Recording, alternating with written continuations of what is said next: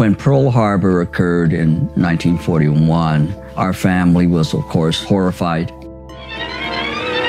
Japs evacuate vital West Coast areas for the national security. Executive Order 9066.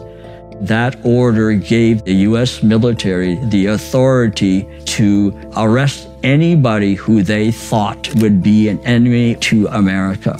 The U.S. military chose to only use that against Japanese Americans, not against German Americans.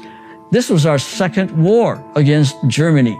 They included only us. The criteria that established if you were going to go is if you were 1 16th Japanese blood or more, you had to go.